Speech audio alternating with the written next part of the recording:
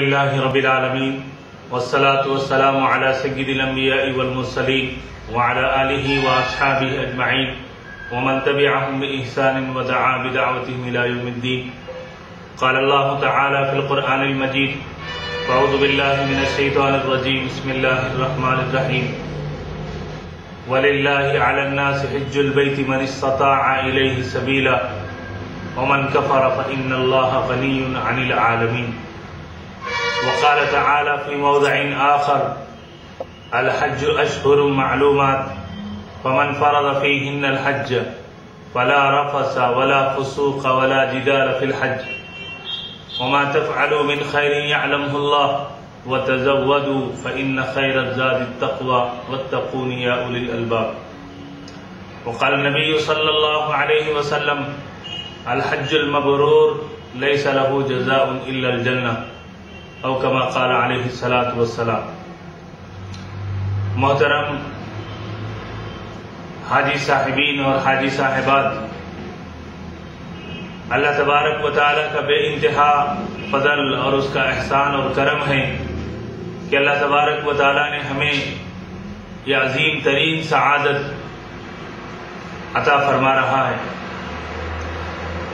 हज और उमरे की शहादत मदीन मनवरा की जियारत, मकामात मुक़दसा का सफ़र यह हमारी ज़िंदगी का एक देरीना ख्वाब है, जिसको अल्लाह तबारक व पूरा फरमा रहे हैं। इस मौके पर Labbaik educational welfare society Hyderabad आपकी खिदमत में अपने आठ साल तरबियती क्लासेस और आठ साल तजुर्बात की रोशनी में दस रोज़ा हज तरबियती कोर्स मुरतब की हैं और तीन रोज़ा उम्र की तरबियती कोर्स तरतीब दी हैं। आज इस बात की कोशिश की जा रही है कि वो कोर्स आप हजरात की खिदमत में पेश किया जाए। लब्बैक एजुकेशनल वेलफेयर सोसाइटी एक एक अहम और एक बुनियादी काम लेकर चल रही है। कि अल्लाह के वो मेहमान जो अपने घरों से काबा और मदीना मुनव्वरा पहुँच रहे हैं, उनकी दीनी तरबियत की जाए, उनको इल्म अमल के एतबार से तैयार कराया जाए, उनको वो अहकाम व मामूलात और मसाइल व फ़जाइल से वाकिफ कराया जाए, जो उनकी ज़रूरत हैं। हज़रत गिरामी, इतना मुक़दस तरीन सफ़र बग़ैर मालूम के अगर होता है तो ऐसी सूरत में हमारे लिए बेशुमार नुकसान का ज़रिया बनता है। लबैक एजुकेशनल वेलफेयर सोसाइटी ने पिछले आठ सालों में उर्दू में, अंग्रेज़ी में, तेलुगु में, रोमन लैंग्वेज में हज और अमरे की किताबें, मवाद तैयार किया है और बाबा तौर पर दस रोज़ा कोर्स का अहतमाम करती हैं। तो इस सिलसिले की एक मुफीद कोशिश आपके सामने आ रही है। तरबियत आजमीन हज उम्र के नाम से 200 सफ़हात पर एक मुफीद और मौसर और मालूमती किताब भी बंदे के कलम से मंजर आम पर आई है। हज़रत गिरामी लब्बैक सोसाइटी की एक ही सदा है कि यहाँ से जाने वाले हाजी तरबियत लेकर जाएँ। यहाँ से जा सफ़र पर रवाना होने से पहले वह तमाम मवाद, व तमाम तफसीलात, व तमाम अहकाम मसाइल उन्हें वाकिफ वाकफियत हो। अगर बगैर तरबियत के ये सफ़र होता है तो हमारे लिए अफसोस का बाइस है। और ये बात जहन में रहनी चाहिए कि इस सफ़र में दो बुनियादी चीज़ें हैं। एक तरबियत और दूसरी हमारी सेहत।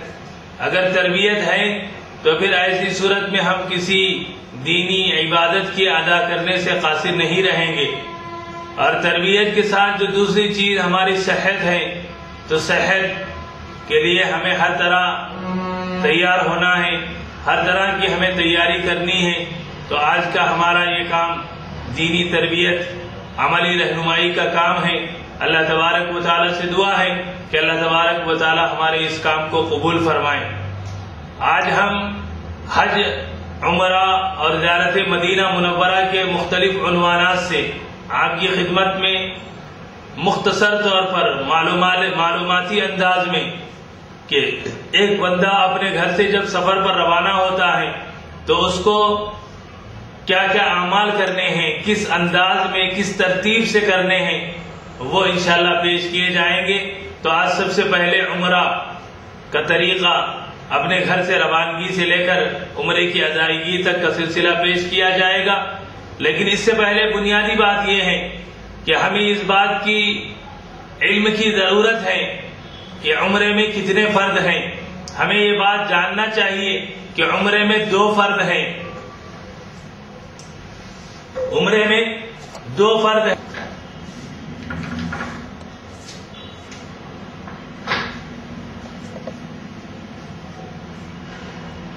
फराइद उमरा।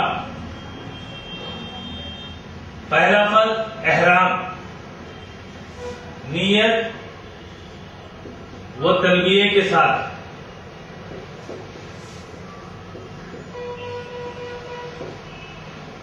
दूसरा, तवाफ। उम्र में सिर्फ़ दो फ़र्ज़ हैं और अगर कोई अल्लाह का बंदा इन दो फराइज को पूरा कर लेता है तो इस तरीके से उनका उम्र अदा हो जाता है और उम्र में कोई खराबी बाकी नहीं रहती। वहीं पर उम्र के वाजिबात वाजिबात के उम्र दो हैं।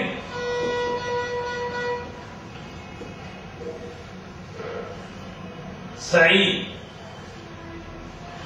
दूसरा हलफ या कसर। वाजिबात का मतलब यह होता है कि अगर इनमें से कोई चीज़ छूट जाती है तो फिर उसका बदल ये है कि वहाँ एक कुर्बानी, एक जानवर की कुर्बानी दी जाए, जिसको दम कहा जाता है। तो उनमें पहली सही और दूसरे नंबर पर हलक और हलक और कसर का मतलब ये है कि पूरे सर के बालों को मुंडवाया जाए, या पूरे सर के बालों को कटवाया जाए। ये दोनों चीज़ों की गुंजाइश है। तो इस तरीके से हर हज और उम्र करने वाले को ये दो चीज़ों की ज़रूरत पड़ती है कि फराइज का इल्म हो और वाजिबात का इल्म हो। हजरात गिरामी, इसके बाद हम अपने सफ़र उम्र,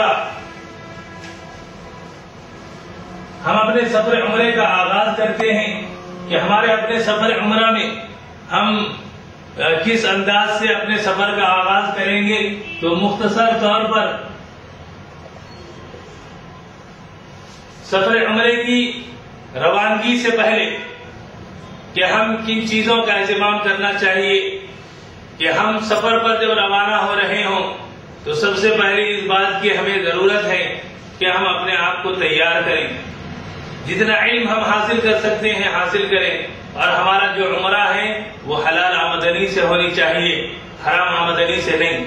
मर्द हजरात और सफ़र उम्र से पहले अपने आप को दीनी माहौल में जोड़ें सीरतुलनबी पढ़ें, कुरान पढ़ें, और वहाँ की मालूम और वहाँ के मसाइल से वाकफियत हासिल करें। और सफ़र उमरा चले हमें एक बेहतरीन ग्रुप और एक बेहतरीन अमीर अपना बना लेना चाहिए, ताकि आगे हमारा जो सफ़र हो रहा है, एक अमीर की निगरानी में हो। जब हमारा सफ़र उमरा शुरू होता है तो सबसे पहली मंजिल हमारा अपना घर है। हम अपने घर पर जिन अमाल को अदा करते हैं, उनमें सबसे पहली चीज़ एहरा गुसल है। गुसल कर सके तो वज़ू है। इसलिए कि नबी सल्लल्लाहु अलैहि वसल्लम ने अहराम बांधने के लिए गुसल फरमाया था।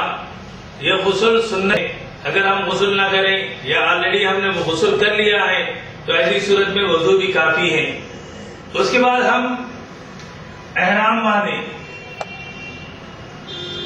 एहराम की तफसील हमें जाननी ज़रूरी है कि एहराम किस तरह बांधा जाता है। एहराम बांधने का तरीका ये है कि हम अपने मर्द हजरात के लिए पाबंदी है कि वो सिला हुआ कपड़ा ना पहने। तो एहराम की दो तरह होती हैं और उनके बांधने का तरीका ये है कि ये एक चादर को हम नीचे हिस्से में बांधते हैं और उसको बांधने से पहले उसका ये अहतमाम ज़रूर कर लें कि हमारे पाँव फैले हों। और उसके बाद ये बाएँ हाथ की चादर को, बाएँ हाथ के हिस्से को दाएँ तरफ़ दबा दें। फिर उसके बाद तरफ़ मोड़े। फिर दाई तरफ़ लेकर इसको, मजबूती से बाँध दें। ये सामने वाला हिस्सा और इसी तरीके से पीछे वाले हिस्से को भी हम अच्छे से मोड़ दें, ताकि हमें ये खौफ ना हो कि हमारा एहराम खुल जाएगा।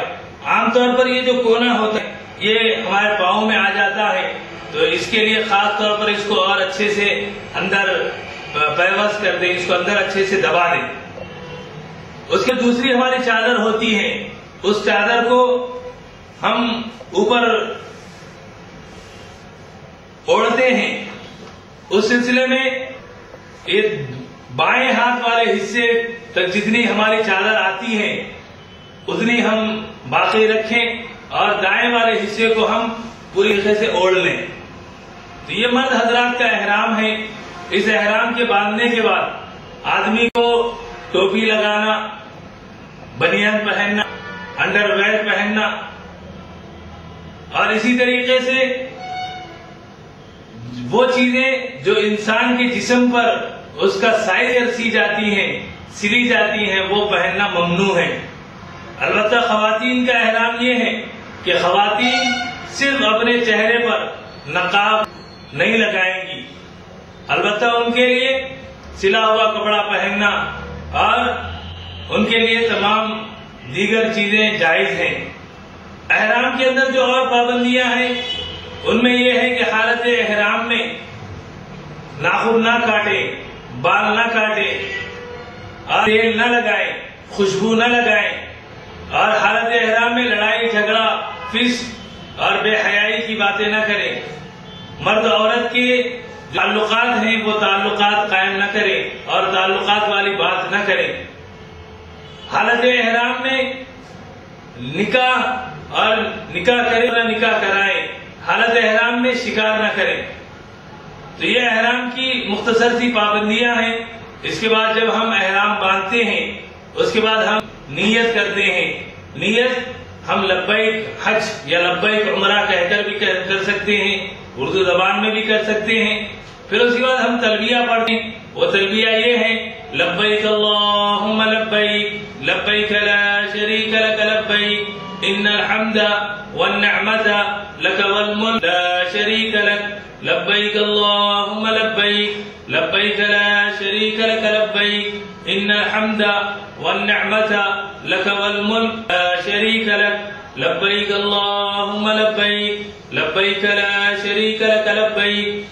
हमद वन्नमत लक वल मुल्क ला शरीक लक ये बात याद रखें कि तलबिया एक मरतबा शुरू करने के बाद कम अज कम तीन मरतबा पढ़ा जाए।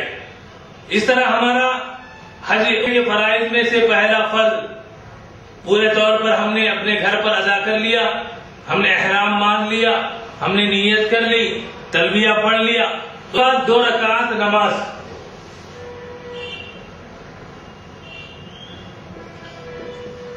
दो रकात नमाज़ अदी अदा की जाएगी और रकात नमाज़ नफिल है। इसको सलात सफ़र कहें कि ये सफ़र पर रवानगी से पहले, जैसा कि प्यारे नबी वसल्लम की सुन्नत मुबारक हम भी अदा करें। इस नमाज़ के अदा करने के बाद खास तौर पर इस बात का एहतमाम करें कि इनफरादी दुआ। कि हम, जहाँ मियाँ बीवी अगर रवाना हो रहे हैं बाप और बेटा और माँ है तो हर फर्द अपनी अपनी जगह इनफरादी तो दुआ करें। और उसके बाद इजतमाही दुआ करें। इजतमाही दुआ। इस इजतमाही दुआ का फल ये है कि जितने अहबाब, जितने दोस्त, जितने रिश्तेदार हमारे उस मौके पर आते हैं, तशरीफ़ लाते हैं, उन सबको जोड़कर दुआ करें। इस इजतमाही दुआ के बाद हम किसी को अपना अमीर बना ले।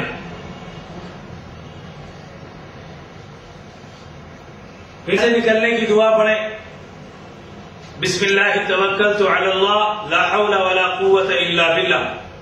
फिर उसके बाद सवारी पर सवार हो जाएँ तो सही की दुआ सुबहान सखर वमा कुन्ना लहू मुकरिनी व इन्ना इला रब्बिना लमुनकलिबून फिर उसके बाद हमारा सफ़र शुरू होता है, हम घर से रवाना होकर। हमारी अपनी पहली मंजिल से रवाना होकर हम दूसरी मंजिल, एयरपोर्ट पहुँचते हैं। एयरपोर्ट पहुँचने के सिलसिले में मुख्तसर सी बात यह है कि दो चीज़ों का खास तौर पर ख्याल रखें कि एक तो वक्त पर हम पहुँच जाएँ और दूसरा ये कि हमारा सामान भी वक्त पर पहुँचा दें और उसके बाद जो इंतजामिया की तरफ़ से गाइडलाइंस दी जाती हैं, हम उसको फॉलो चले जाएँ। इस तरह हमारी कार्रवाई आगे बढ़ती है। हम एयरपोर्ट के मरहले से और एयरपोर्ट के कार्रवाई को मुकम्मल करके हम फ़्लाइट फ़्लाइट पहुँच जाते हैं। हम हवाई जहाज़ में पहुँच जाते हैं। अब हवाई जहाज़ में पहुँचने के बाद जो हिदायत हैं, उनमें से एक तो ये कि बड़े उम्र के हजरात और खातन के लिए हम खास तौर पर ख्याल रखें, उनके लिए सीट दें और उनके लिए जगह खाली कर दें। फिर उसके बाद हमारा सफ़र शुरू होता है और सफ़र शुरू होने के बाद मुस्तकिल हम तलबिये का बिरद रखें। तो नमाज़ का वक्त आ जाए तो फिर नमाज़ भी हम अदा करें, नमाज़ को खजा न करें। और इसी तरीके से स्माइल टिश्यू पेपर एयरपोर्ट के अथॉरिटी की तरफ़ से दिया जाता है, उसको इस्तेमाल न करें, इसलिए कि हम हालत एहराम में हैं। और दूसरी चीज़, ये टच स्क्रीन टीवी पर जो बेहूदा चीज़ें होती हैं, उनसे भी हम एहतियात करें। इस तरीके से हमारा सफ़र जारी हो जाता है। हम पहुँचते हैं जद्दा एयरपोर्ट।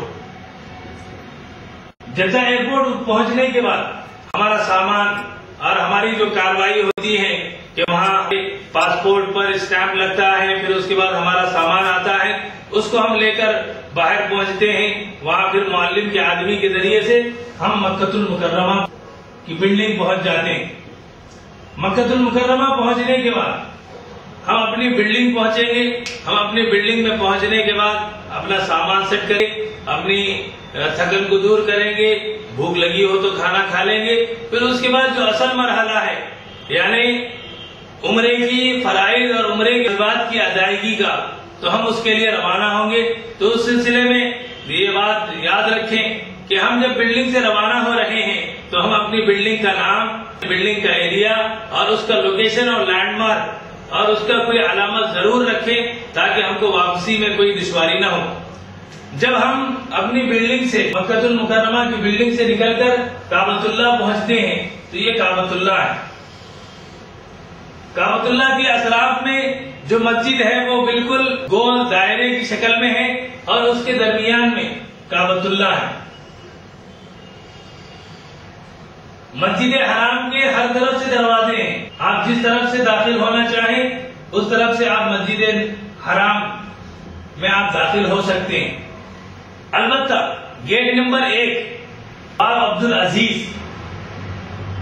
गेट नंबर एक, बाब अब्दुल अज़ीज़ से अगर आप दाखिल हो रहे हैं तो ऐसी सूरत में याद रखें कि आपको तीन दफ़ा सीढ़ियाँ मिलेगी। और बारह बारह बारह। छत्तीस सीढ़ियाँ आपको मिलेंगी उसके बाद काबतुल्ला पूरे तौर पर आप सामने होगा। तो इसलिए आपसे गुजारिश ये है कि जब हम पहली मरतबा दाखिल हो रहे हैं तो पहली मरतबा बारह, दूसरी मरतबा बारह, तीसरी मरतबा बारह सीढ़ियाँ मिलेंगी। उसके बाद आप अपनी निगाह उठाइए और काबतुल्ला को देखिए, जी भर कर देखिए और खास दुआ का एहतमाम करिए।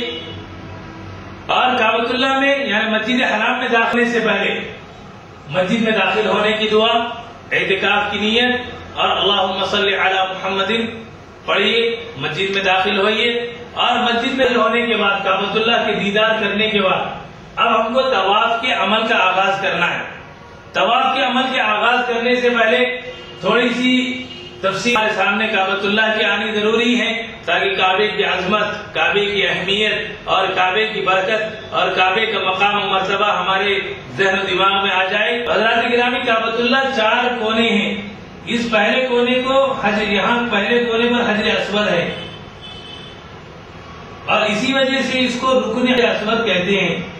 यानी हजर असवद का कोना। और हजर असवद के कोने के बाद हमको ये काबतुल्लाह का ये दरवाज़ा नज़र आता है। हजर असवद एक रुकने हजर असवद दो, दरवाज़ा तीन और दरवाजे से लगी हुई ये कुंजी चार। काबे के दरवाजे और हजर असवद के दरमियान जो ये जो जगह है, इसको कहते हैं मुलतजम। पाँच। मुल्तजम मकाम है जहाँ दुआ कबूल होने के बारे में हमारे बड़ों के तजुर्बात हैं। तो मुल्तजम मुल्तजम से आगे हम बढ़ते हैं तो जमजम का कुआँ यही निकला था। बिल्कुल काबतुल्लाह के दरवाजे के सामने वाले हिस्से में। और उससे ज़्यादा आगे हम बढ़ते हैं तो यहाँ मकाम इब्राहिम है। सात। मकाम इब्राहिम के बाद ये जो रुकन है, ये जो कार्नर है, इसको कहते हैं रुकन इराकी। इसलिए है। उसके बाद ये रुकन इराकी के बाद एक दीवार शुरू होती है, जिसको कहते हैं हतीम। नौ। इस हतीम के हिस्से में मीजाब है, रहमत का परनाला। मीजाब रहमत, दस। और इस हिस्से को रुकन शामी कहते हैं। ग्यारह। रुकन शामी के बाद जो हिस्सा आता है, वो रुकने यमनी या रुकने यमानी है। बारह। काबतुल्ला के चारों कोनों में चबूतरा बना हुआ है, जिसको शाद कहते हैं, शाद तेरह। अरे काबतुल्ला के ऊपर गिलाफ काबा है, चौदह। और काबतुल्ला के अतराफ में जो खुली जगह है, उसको कहते हैं मताफ पंद्रह ये मकाम वो हैं जो काबतुल्ला का हिस्सा है। अब जब हम तवाफ का आगाज़ करेंगे तो हमारे तवाफ का, हमारे तवाफ का आगाज़ हजर असवद से होगा।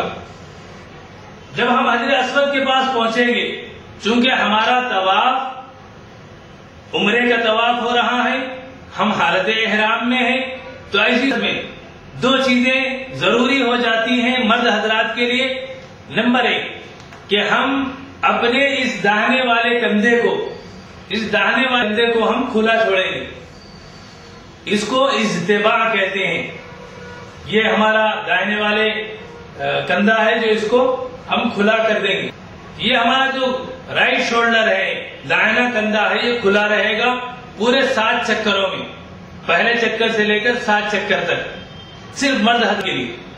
और दूसरा काम, मर्द मर्द तवाफ करने वाले को सीना तान कर बहादुरों जैसी चाल के बल चलना इब्तदाई तीन चक्करों में ज़रूरी है।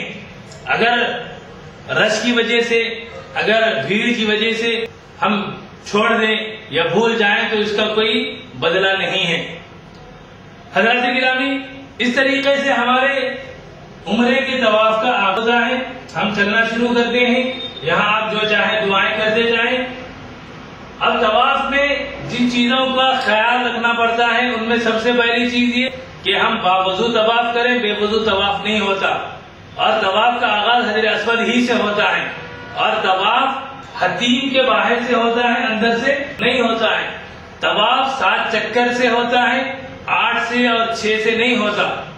तो इस तरीके से हमने तबाफ का आगाज़ किया, पहला चक्कर पूरा किया। यहाँ पहुँचने के बाद हजर असमद के पास पहुंचकर इब्तदाई चक्कर में भी और हर चक्कर में बिस्मिल्लाह अकबर कहकर हम अपने हाथों को चूम लेंगे। तो जैसे हमारे पहला, दूसरा, तीसरा, चौथा, पांचवा, छठवां और सातवां। हमारे सात चक्कर पूरे हुए। हमारे उम्रे के दो फराइज थे कि पहला फ़र्ज़ एहराम, नियत, तलबिया, वो पूरा हुआ, अल्हम्दुलिल्लाह। और दूसरा तवाफ, वो भी पूरे फजाइल के साथ मुकम्मल हुआ। अलबत्ता, रुकन यमानी और हजर असवद के दरमियान की जो जगह है, वहाँ रब्बाना आतीना फिर दुनिया हसरत फिल हसरत वकीना अजाबन्नार। ये दुआ पढ़ना मसनून है। ये हमारा उम्र का तबाह मुकम्मल होता है। उसके बाद हम पहुँचते हैं मकाम इब्राहिम के बाद कि मकाम इब्राहिम को और काबे को सामने रखते हुए दो रकात नमाज़ अदा करते हैं और ये दो रकात नमाज़ वाजिब हैं। इस तरीके से हमारा तवाब तवाब के मामूलात और मुतालिकात पूरे होते हैं और उम्रे के जो वाजिबात हैं, उनमें से पहला वाजिब सही है। सही सही कहते हैं, सफ़ा और मरवा के दरमियान दौड़ने को। सफ़ा एक पहाड़ी है फिर एक मरवा, एक पहाड़ी है। हम यहाँ सफ़ा पहुँचते हैं, फिर मरवा सफ़ा से हमारी सही का आगाज़ होता है। हम मरवा पहुँचते हैं एक और वापस सफ़ा दो, फिर सफ़ा से मरवा आते हैं तीन और मरवा से सफ़ा आते हैं चार, फिर वापस मरवा पाँच, सफ़ा छ, मरवा सात। इस तरीके से हमारे ये सात चक्कर पूरे होते हैं यानी साढ़े तीन चक्कर होते हैं, सफ़ा से मरवा मरवा से सफ़ा। कुल मिलाकर हमारा ये पहला वाजिब पूरा होता है। इसके अंदर अहम करीब बात यह है कि सफ़ा से बिल्कुल करीबी मकाम पर। आजकल उसको किया गया है, हाईलाइट किया गया है, ग्रीन लाइट्स के ज़रिए से। वहाँ मर्द हजरात को तेज तेज कदमों से दौड़ना है, जिसको मीलाइन अफजराइन कहते हैं। हज़रत सलाम वहाँ दौड़ी थी तो उनकी सुन्नत और उनकी याद में दौड़ने का हुक्म दिया गया है। सफ़ा और मरवा की सही मुकम्मल हुई। उसके बाद उम्र के दूसरा वाजिब सर के बाल बनाना है। हम बाहर निकलेंगे, वहाँ हजाम नज़र आएगी। वहाँ हम जाएँगे बाद, जिसको हलक कहते हैं बनवाएँगे या अगर हम तरसवाना चाहें तो तरसवा सकते हैं। खातन अपने हाथों से खुद एक इंच बाल काटे तो उनका एहराम खुल जाए और बगैर बगैर हलक कराए एहराम नहीं खोला जाएगा। और इसके अलावा जो दीगर अपने उलमाए किराम से हमें मालूम हासिल करनी चाहिए। अल्लाह तबारक वाली से दुआ है कि अल्लाह तबारक वाली हमारे इस सफ़र उम्र को कबूल फरमाए, इसके अंदर फरमाए, इसके अंदर जो कमी, कोताही रही है, अल्लाह उसको दरगुदर फरमाए और इसकी बरकतों से हमें, हमारे नस्लों को, नस्लों की नस्लों अल्लाह तबारक वाला फायद पहुँचाए और लब्बैक सोसाइटी और उसके जो रुफका और उसके जो मामिनीन है, अल्लाह तबारक वाली उन सबको कबूल फरमाए। वाखिर दावाना